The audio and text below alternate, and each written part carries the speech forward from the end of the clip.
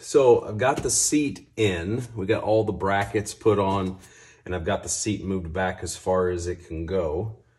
Pretty much in the position. I don't think they're gonna slide them forward or anything. So we're gonna keep it back as far as we can to give the kids as much leg room as possible. So the next step here, um, no directions or anything with the seat. I even tried to call HSP several times and never received an answer or a call back. So we're just going to do this, uh, you know, the old school way and figure it out on our own. So when you take the center console pieces off, the last piece is this one in the front that has the uh, forward cup holders. And then you've got basically three pieces here for the back, okay? And these are all been cut now. Um, so I started with this piece in the back. This is the rear piece. There are two mounting locations here and here that correspond to these. So basically I just cut this little piece straight across. It had a little tab sticking out of it, um, which is part of the next piece uh, in the back there. So give you a good look at that. Okay, so that'll go down into here. And that'll bolt right up to there. Just gonna cut, put a couple bolts in it just to hold it.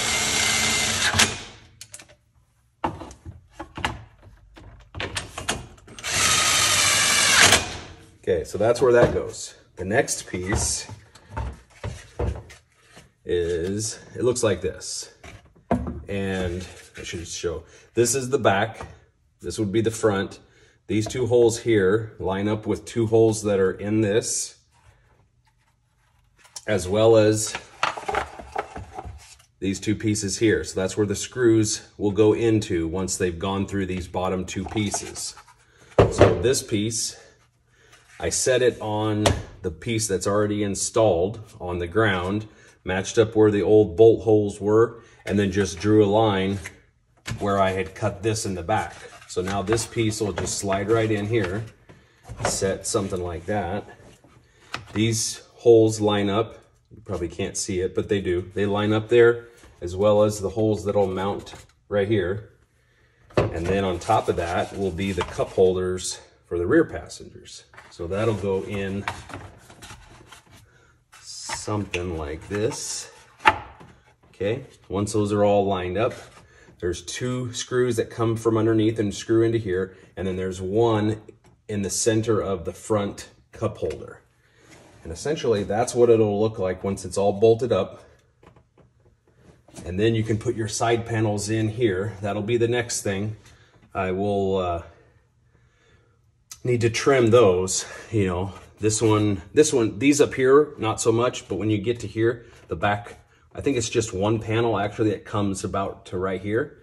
That'll also need to be trimmed. So that's what I'll end up doing next is just uh, putting that in there and kind of marking it and, uh, and cutting that away. So hopefully that helps you guys. And, uh, you know, it fits right in there where that pocket is. Again, I haven't cut this yet. That'll have to be cut next because you can see what would happen, right? The, the middle child's gonna, his legs are gonna come through here and you know, that's not going to be good. So this whole thing's going to end up going away. But that's how I modified the center console piece for this HSP seat. Again, I was hoping for some instructions in the uh, with it, but basically the seat came on a pallet wrapped in plastic, and that was it. I went onto their website. I didn't see any instructions. Um, so I tried contacting them uh, several times and didn't get an answer.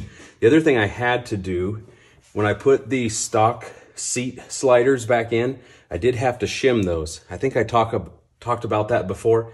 And I end up just using some nylon uh, spacers that um, I got at my local hardware store.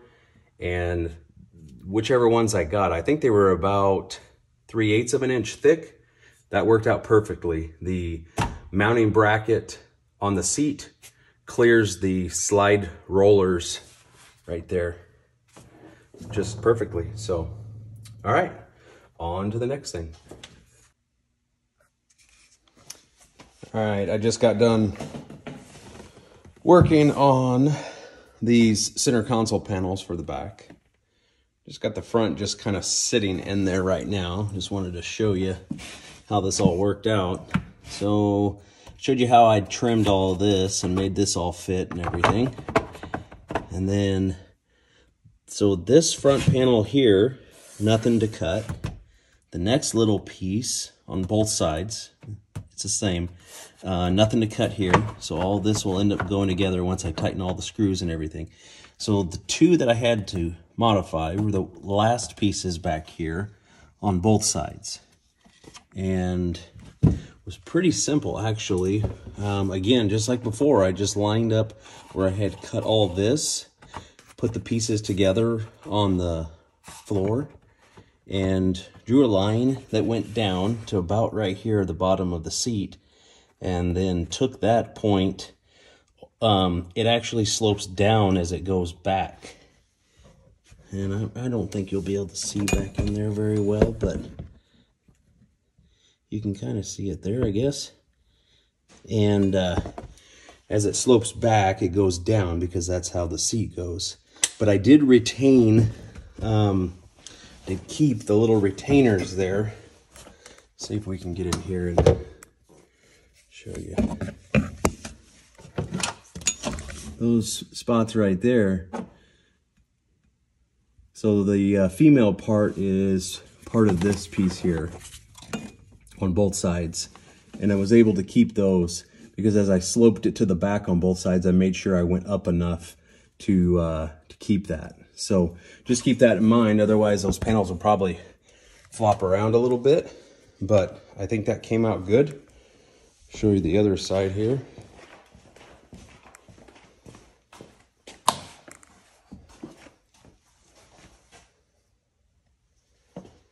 like I say, all this will end up kind of going back together once I get it bolted there and get the other pieces in.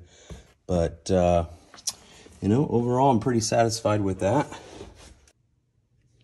All right. Uh, just thought I'd take a couple minutes here and give you an update on kind of what's been going on. So I got the roof rack on just kind of temporarily. I got one or two bolts in it right now. Uh, I got the plates here. Uh, this is for the LinQ system. You can buy those little adapters, bolt them in with four bolts, and then you can have shovel racks and all kinds of different attachments there uh, for that. That's on all four, or on both sides, there's four plates uh, for that. I also installed the rigid cube lights, just mounted those with the hardware that came from Rigid. Same thing with the wiring. This is all Rigid wiring. I just zip tie that up and out of the way. And then I put a little wire loom on it.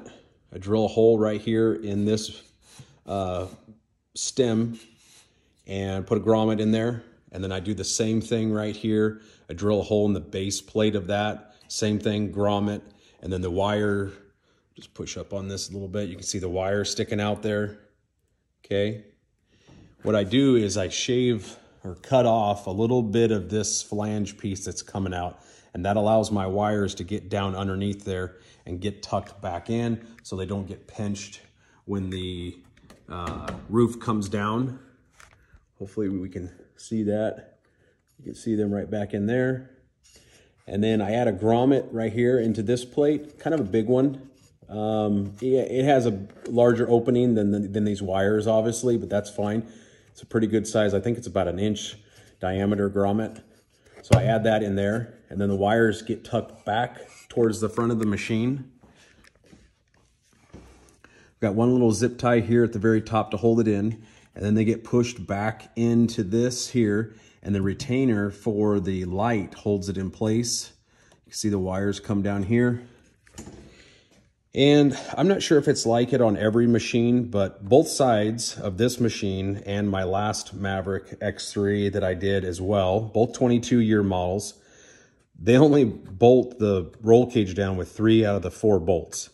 Not sure why, not sure if that's how it is on every single one, but I take advantage of that one bolt that's missing and I use that hole to run my wires through. A uh, little piece of wire loom on these black and red wires to protect them. And then the other wire next to that is for the rock lights. Okay, and then those run down underneath here, right there. And then I run them down here. Now what I have here is heat shrink bullet connectors for both sides. And the reason I do this is just in case the roof rack needs to come off, you can undo these and pull those wires all the way back up through the uh, roll cage plate and everything else, and you can take your roof rack off. You don't have to cut wires or anything like that. Um, done that several times on these machines, just in case somebody wants to ever remove the roof rack. And then I run the wires down and follow everything else, get that all zip tied up and out of the way. So hopefully that makes sense, right? If you disconnected this, you know, the the wire that's all in here wouldn't come out because you'd have to take that connector apart. So that's why I do the bullet connectors underneath there. You could just unbolt the cage, start feeding the wires back up from underneath there, back up through here. They'll come through that big grommet. They'll even come through the hole that's in the roof here because I oversized that. And the whole thing will come up and you'll have, you know, a know, two foot long pigtail of wires with the bullet connectors on the end of it, just in case. Um, another thing I finished up here was the wiring for the uh, whips. And basically, there it is right there. That's got the plug on the end of it. Again, you can get those through Gorilla Whips. And I just notched this piece here just a little bit. You know, that way this isn't just sitting here flopping when you don't have the, the whips on. And it gives you a spot to tuck that out of the way. Did that on both sides.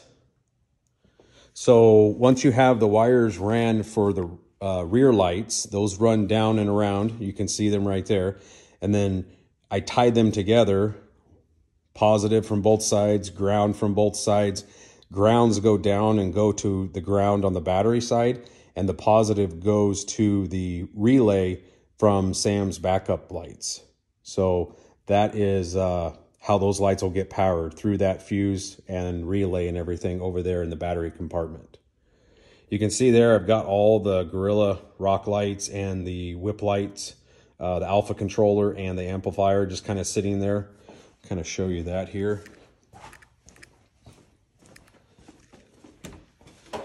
Finally got this kind of positioned where I want it. I'll get all this tucked up and everything here and tidied up. Um, this is the relay that comes with the Gorilla Whips. Basically, this wiring, for the most part, is from there, as well as the fuse. I went uh, to the bus bar here, tied in uh, there. Here is the back for the switch. And I run the whips and the rock lights on 24 power. So that's what this line right here is. That red one there, number two and that allows you to run the whips and not have to have the machine on. Uh, this one here is your ignition, so that'll light up part of the switch when you turn the ignition on. Otherwise, you do have power all the time. This is the trigger that goes out to the relay. The relay then has power, 24 power also going back to the bus bar up there. And then that power comes and goes into the alpha controller. And then I have one of the channels of the alpha controller going out to the amplifier for the rock lights. Okay. There's the center console piece there with the new whip light switch. Now on some of the machines, I believe they're older ones, maybe before 2021 or 2022, they used to have the override switch here for reverse, but now it's up here. So if you have one there, just um, that's totally fine. I was going to put the whip switch there, but I found that the this piece here actually hit right here and I wasn't able to do that. So I went ahead and just moved over to that first position. That gives them a couple more options uh, for later on down the road if they need additional switches. This thing's going to be, once I kind of get that all buttoned up, it's going to be finishing up the heater. Now that I've got the center console pieces on the back cut, I know kind of where now I can put the the ports for the heater. This will get a Y adapter on it and little pieces of hose with a couple of more vents that'll go back out in there somewhere. Eh, probably like right here. This is where I'm thinking I'm gonna I'll end up kind of running it this way and then probably exiting it right here, dumping it out onto the rear passenger's feet is kind of the idea at this point. We'll figure out that out when we get there. Um, the other thing I wanted to show you is the rear grab bar. So the original thought um, that I had was I was going to remove this completely. Um, but then, I, I, as I said uh, in a couple minutes earlier in the video, uh, I had thought maybe that I could just cut this off a little bit and give it a try.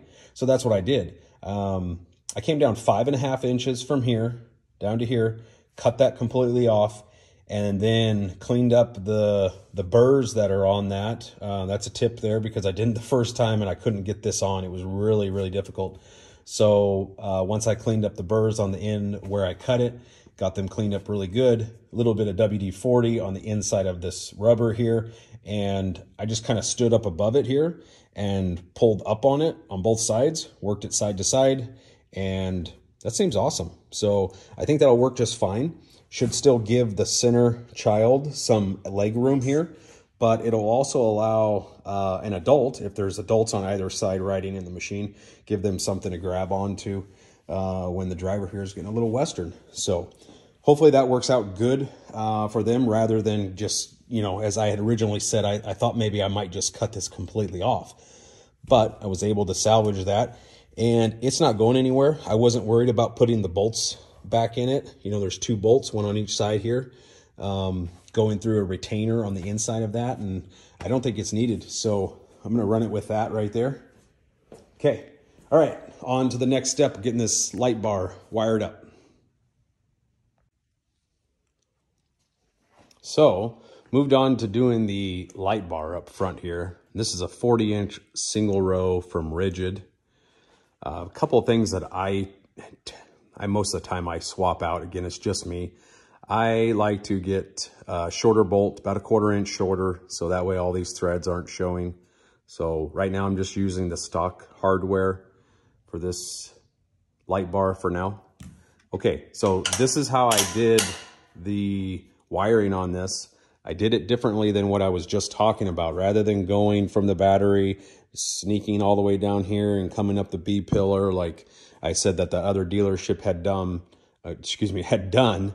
Uh, they're not dumb, but how they had done it. Uh, I decided to do it differently. I decided to just go and come in here, drill a hole in this uh, post here, and then I drilled another hole in the base plate of the post, drilled a hole in the roof, and then just fed my wires down into here. Uh, about right in here is where those wires will run out and you'll have to make your connection to the harness that comes with it, the wire harness that comes with the lights. Um, so I can show you kind of how I did that there. 7 16 hole with a grommet.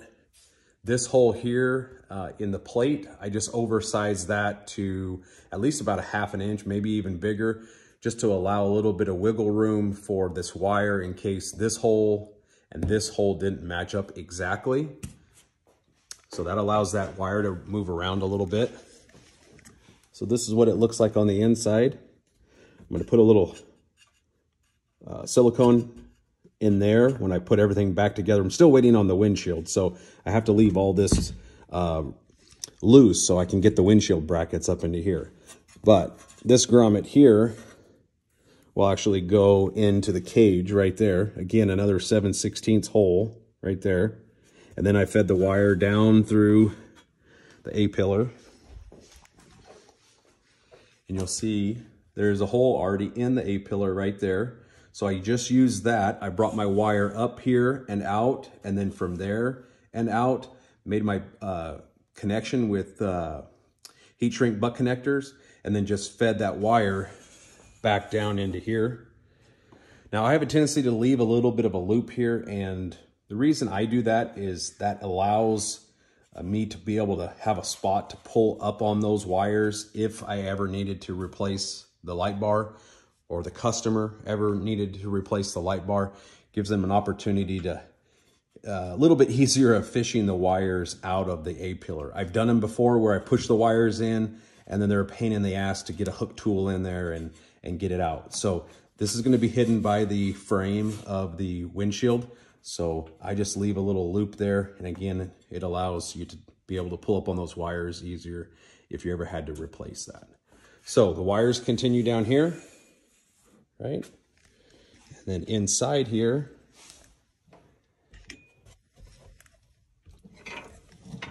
there's the end of the A-pillar I oversized that hole to about a half inch and that allows the this cable here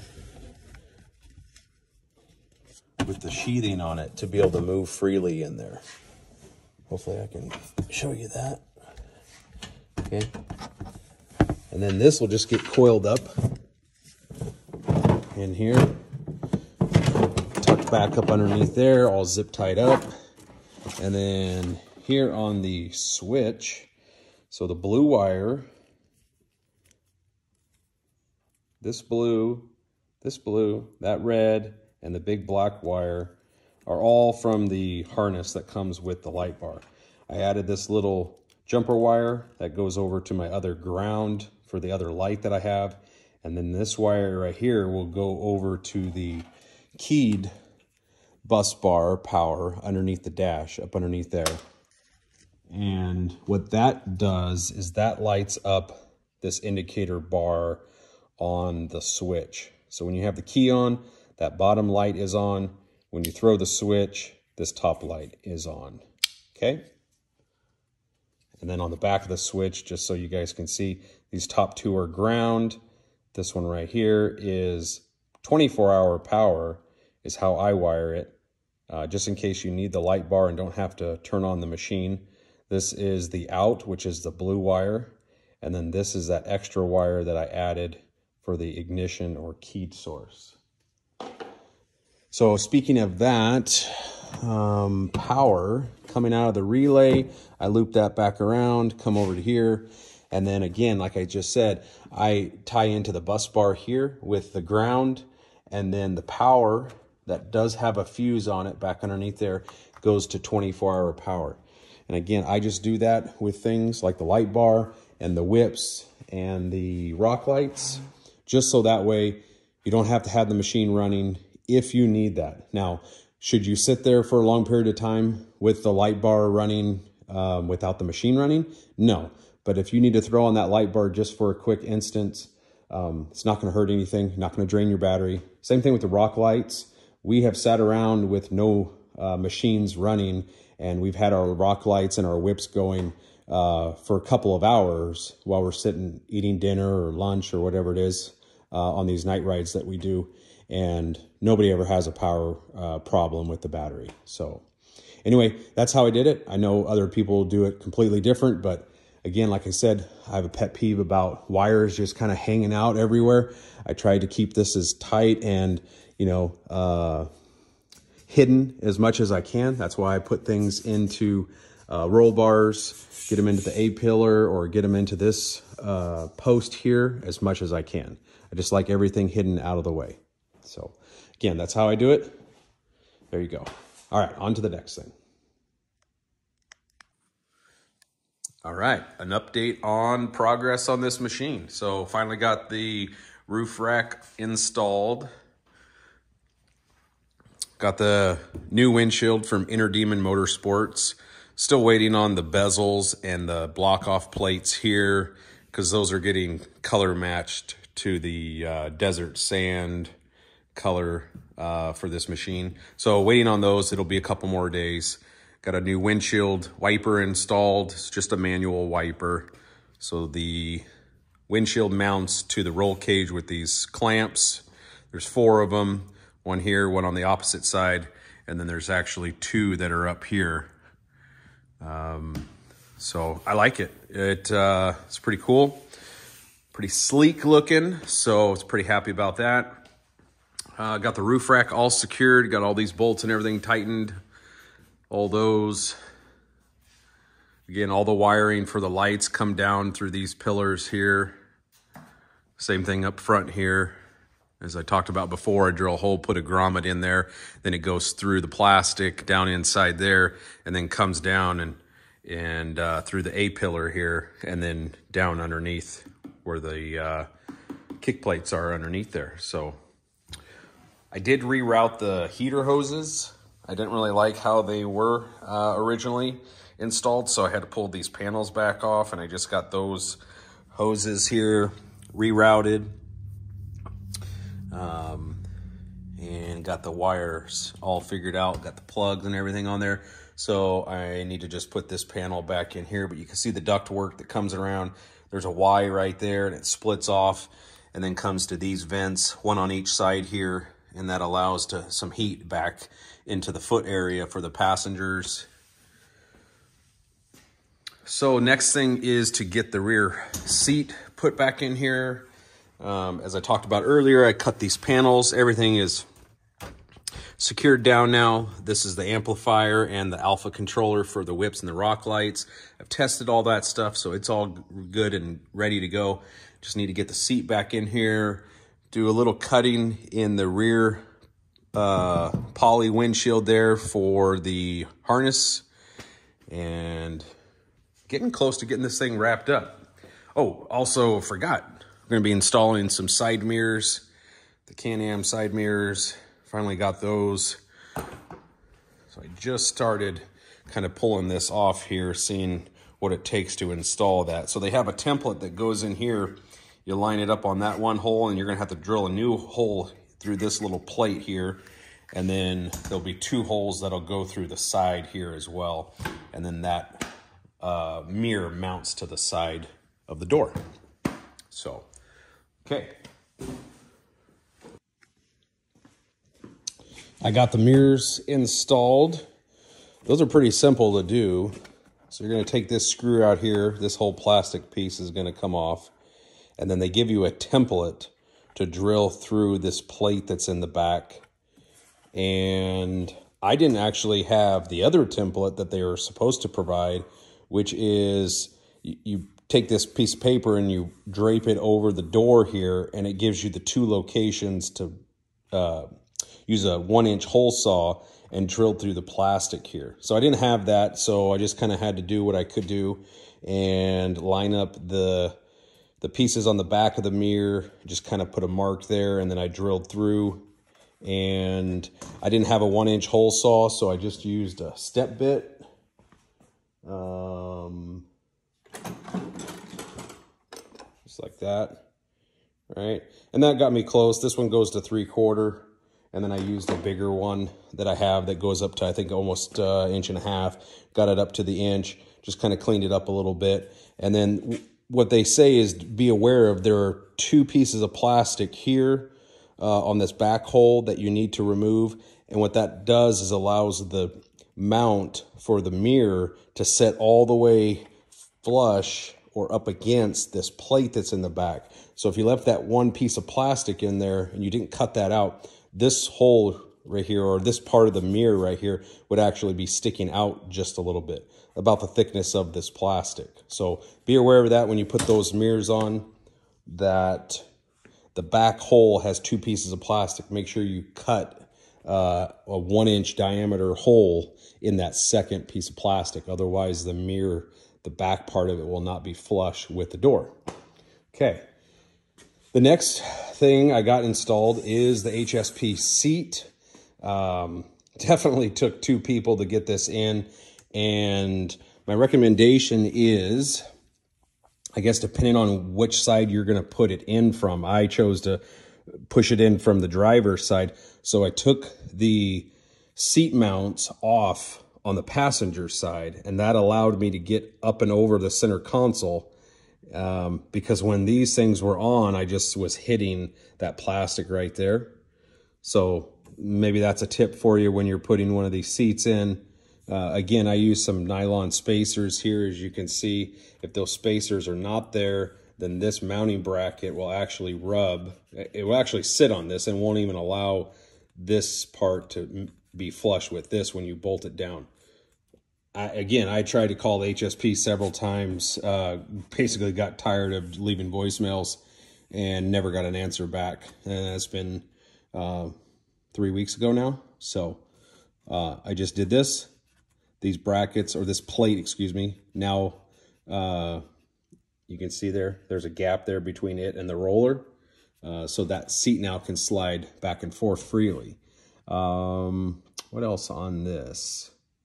When you tighten these down here, just be aware, don't get in there with an impact and start tightening them down. You know, this is uh, hollow here. So that you're just going to keep squeezing that and, and deform it. So just get it to where the nuts are tight and that's it. So I did get the one harness that they want put in, in the middle. Got that put in. This goes down underneath the seat and ties into the bolt that's in the back corner over here. And then here I just took my Dremel tool and made some cuts in this rear window and that allows the harness to go up and around the roll cage in the back, this piece here. And then this will just need to be adjusted for the kid once we get them in here and get them all sized up. So I am going to put a filler piece in here. Not sure what that's going to be quite yet, just because, you know, you could you put your hand down in there and I'm sure there this would probably be a spot where dust can uh, bellow up from. So I'm going to kind of plug that off. I'm thinking maybe like a piece of foam or something down in there. Um, paint it black or something. We'll see what happens. I, I don't know exactly what I'm going to do there yet. So I think that's pretty much it. I got this thing pretty well wrapped up. Um, I need to tension the winch, um, do a couple other things. Uh, I didn't show you guys what I did here, but when I put all these vent uh, tubes in here for the heater, this panel was kind of sticking out a little bit, especially right in here. So what I did, I took a piece of plastic that I had cut out when I cut all these pieces up and um, I just used some high strength adhesive on the back side of that. So there'll be a little tab that'll actually stick back underneath here and help hold that panel from from pulling out. So the reason I don't have that in yet is because that adhesive is still curing. So um, other than that, it's going to be get the other seats back in and give this thing a wash. And of course, go over my list of stuff that I that I had to do to make sure that I got everything pretty well wrapped up. And then again, still waiting on the bezels here and the block off plates. So other than that, I think everything is, everything's fine. All right, cool. All right, guys, I just wrapped up this 2022 X3 Turbo RR just got everything wrapped up and cleaned and the customer's coming to pick it up here today, this afternoon. So I thought I had one opportunity left to do a little quick walk around, show you everything that I put on this machine. So let's start up here at the front. Okay, we've got the Can-Am front bumper. We've got a Warn winch with synthetic rope the new accent lights for the Ryco turn signal kit. Underneath there, we've got the horn. Again, I always upgrade that horn that comes in the Ryco uh, kit. We've got our rock lights mounted underneath there. Front windshield from Inner Demon Motorsports. When you get these, these bezels here are probably going to be a different color than mine. Uh, I think they said they're going to make them titanium, so kind of a gray color. Uh, I actually had them uh, color match these as best they could to the sand uh, color that's on this machine. So you can see that, you know, there. Um, so they do have these block off plates. So normally the vents would be all open. You undo these little thumb screws and they have a plate that's on the back inside of the windshield and that just blocks all those vents off um, so when you're in a situation, you know, in the winter and you're still riding, or if it is cool out on a night ride, you can block those off uh, if you like. I think most of the time people would agree that we would have those block off plates off so the vents would be open. Just my opinion and, and uh, what I've come across most of the time. Okay, next thing is Can-Am roof rack pretty simple to go on once you get everything lined up and all the bolts uh, secure. Everything's good. Rigid light bar, that's a 40 inch single row. Down here to the Can-Am mirrors.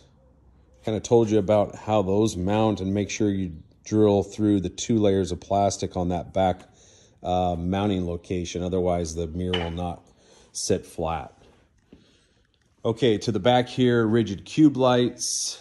Again, these are the diffused lights, so you see that the glass kind of looks fractured. Okay, so I'm curious uh, how those are going to work out. It's my first time using these, and uh, yeah, we'll see how those work out. I'm, I'm uh, looking forward to review on those. And Gorilla Whips, same as some of my other videos. Again, just a quick twist and those come off. And then you can undo this connection right here. As I showed you before, once you unconnect this, there's a little plug that I get from Gorilla Whips, and then you can take that wire and put it right down into here and hide that so it's just not flopping in the wind as you're going down the road. All right, the other rock light is back here. Here we have the HSP seat all installed uh, with the Beard harness for the center child. This is the one with the automotive style uh, latch assembly. So again, it looks just like an automotive. I found it it uh, to be easier on kids to to be able to latch this assembly themselves rather than the other one that cams over uh, if you see that. So if you do have kids, I recommend this kind of style. Uh, I had the same style set up in my machine for my three kids as well. So again, HSP seat, HSP seat went in. Um, I told you about the modifications I made to the bottom down there. I did actually modify the seat cushion a little bit right here just because of how uh, the stock seat belt came up through there. So I just cut a little piece out of uh, the foam that's in there, just enough. Uh, otherwise, it was kind of uh, binding up a little bit in there. And then I took those pieces of foam and painted them a little black and put them right here as filler pieces. So, okay, here is the back vents for the heater. One on both sides. So that was get a, get a little warm air back here to the kids' feet talk to you about how I modified this grab handle. So that hopefully will work great. The middle child can get in here. You know, he's going to have to straddle the center console here a little bit, but still gives a good grab handle for the kids if they need, or, uh, you know, if you end up throwing a couple adults back in here, it get, still gives them a spot to, to grab. All right, so the heater is mounted down here in the floor underneath the driver's seat ran two pieces of the ductwork up over here. One turns off with a Y fitting and goes to the feet area, one right there and one on the opposite side.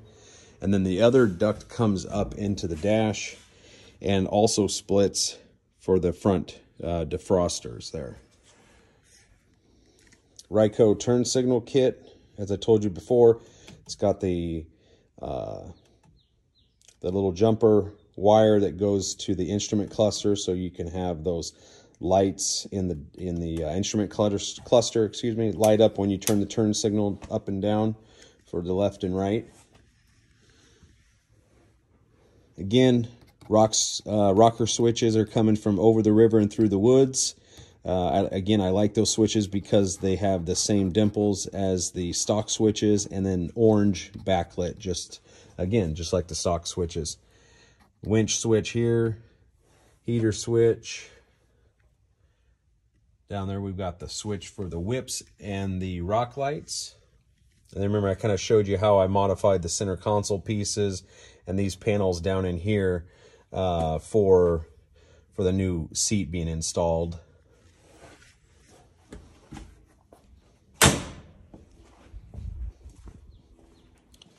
Wanted to show you one other thing here that I remembered. A lot of people wonder where to put the mount for the switch, uh, the wired switch for your winch remote, right? This thing. Well, the plug can go right here. Can-Am already has a spot for it. There's already, um, I think there was already holes there actually. Uh, so it's all ready to go right there. So it's hidden out of the way. You can keep your remote here and then as usual, I always mark this right there and right there if you can see that. And then that way those two pieces line up. And I you know I'm not fumbling trying to figure out where it goes. And I don't break any of those male connectors. I know exactly where it goes right there. Every time I just line up those little marks. Just take a silver sharpie and make those two marks. Again that's just what I do. All right, I think that's about it, guys. Um, again, appreciate you stopping by my channel and checking out the videos that I make. Uh, try to keep it as informative as possible and give you some tips on things that I do just as an installer. Um, so hopefully that helps you guys uh, with your install and your build as well. All right. So like and subscribe as always. Put a comment down there if you have a question about a product that I use or about an install or how I do something. If you want more clarity on something, do that. And I'll be try uh, try to comment as quickly as I can. Usually it's within a day or two. So appreciate the views, appreciate the likes, and to all my new subscribers again, thank you so much for watching. And until next time, have a good one.